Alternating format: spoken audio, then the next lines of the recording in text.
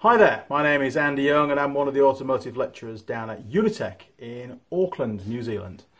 And uh, this is part of the family of videos um, covering basic um, workshop skills, um, which you're going to need really um, for testing your cars and fixing your cars and working out what's wrong with your car.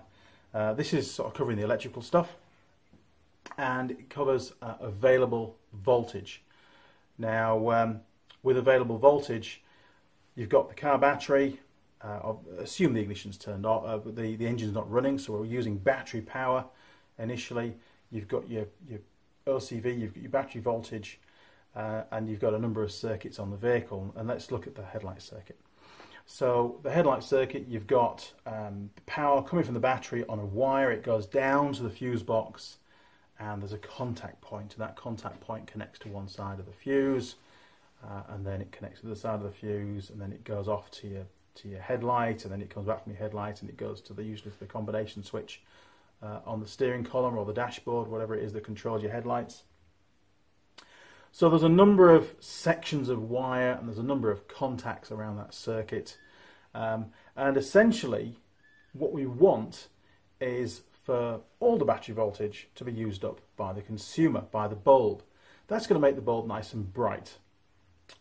Unfortunately, uh, in the real world, what tends to happen is we lose a little bit of voltage in each section of wire. The longer the wire is, the worse the condition of the wire, the thinner the the, the, the, the number of, uh, of the copper content of that wire is in, in section and the, the less number of strands and so on, uh, then it's going to have a higher resistance. And with a higher resistance, we're going to see a volt drop. Now, with available voltage, when you're testing it, you have to have current flow. So in this case, you'd have to have a headlight turned on. And what I've set up for you is a really, really basic circuit as, as regards um, volt drop. And we'll play around with this a little bit. Um, first of all, you're going to need a multimeter, okay? And you're going to need to put it onto DC volts. Okay, so you've got voltage on there, look, so we'll click that round Make sure you, your two little leads in the right place as well. Put it on DC volts and then we're all set. Okay, so we've got a circuit set up here. We've got our power supply set on, oh, let's have a look, about 12 volts. Let's see what we've got exactly. Uh, okay, 11.93. Let's just crank that up to 12.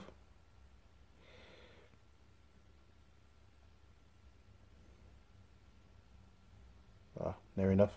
Okay, um, so we've got a circuit rigged up where we've got power coming out of the power supply, about 12 volts, running through to the bulb and then via a couple of contacts back to the power supply. So available voltage.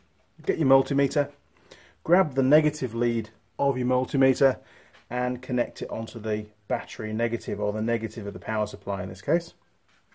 And then all we need to do is take the, the positive um, test lead. And then we can put that straight onto battery positive and that gives us uh, battery voltage which is just under now just under 12 volts. And as we work our way around that circuit we'll see that voltage drop down. So right at the start we had what was it 11.98 at the first connection that's going to drop down to 11.64 so that's the available voltage at that point in the circuit is 11.64. We've lost a little bit of the voltage due to the resistance of that test wire. Now, we can't get into the bulb area. Could we back probe it? Let's have a go. Let's see what happens. Okay, maybe. Let's give it a go. So we'll get the little pin, slide it down the back. And there is a video covering how to back probe stuff. We're going to get a voltage off that. Not enough. Okay, let's try a bit further in.